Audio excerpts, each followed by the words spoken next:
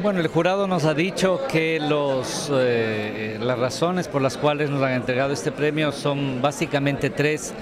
Primero, eh, la parte propiamente monumental. Realmente la recuperación de Tulipe es un centro ceremonial muy grande, importantísimo. Desde el punto de vista arquitectónico es una construcción eh, con un valor ritual, ¿no? Son un sistema de, de piscinas y de centros ceremoniales que tienen un valor maravilloso. En segundo lugar, por la excelente documentación histórica y arqueológica que hay. Eh, tras del proyecto Tulipe y del museo hay 30 años prácticamente de investigación arqueológica, entonces es un proyecto muy sólido, muy fundamentado. Y la tercera razón, que es la que más nos llena de alegría, es que la comunidad está muy integrada a la gestión del museo. Eh, muchas veces eh, se amuralla prácticamente el proyecto arqueológico de la comunidad. Este caso es exactamente lo contrario. El proyecto ha servido para mejorar la calidad de vida de las familias, para evidentemente llegar con servicios básicos, para incorporarles en proyectos turísticos y muchos de los actuales guías del museo son propios habitantes de la zona. Entonces estas tres razones, la histórica, la propiamente académica, pero sobre todo la participativa, han sido las razones que nos han hecho acreedores a este reconocimiento.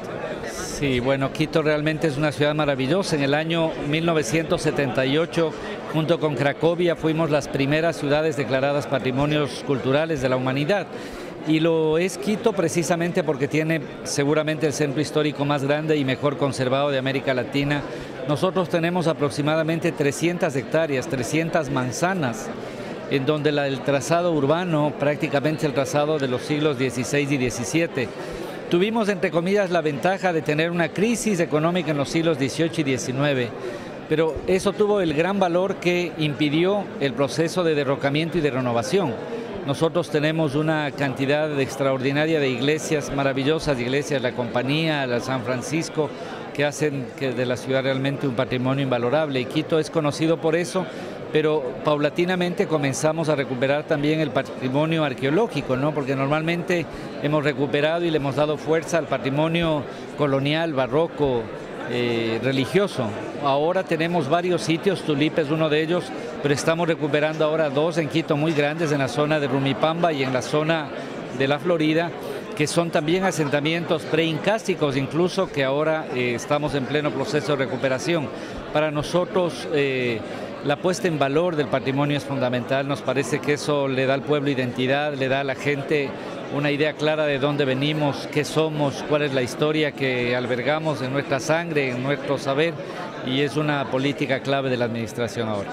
Bueno, primero una enorme alegría, un reconocimiento a, quienes han hecho este trabajo, digamos, en esto hay un trabajo de investigación de casi 30 años que lo ha desarrollado sobre todo el doctor Jara, hay un trabajo de la comunidad nosotros en 15 días aproximadamente, el 18 de marzo, haremos un, evento, una fiesta con la comunidad de Tulipe para entregarles a ellos que son realmente merecedores de este premio.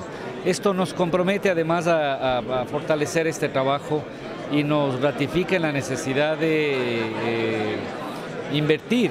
Eh, eh, estas cosas son costosas, no siempre están en la agenda pública, ¿no? La ciudad ha invertido y el país en la recuperación de Tulipe cerca de 2 millones de dólares.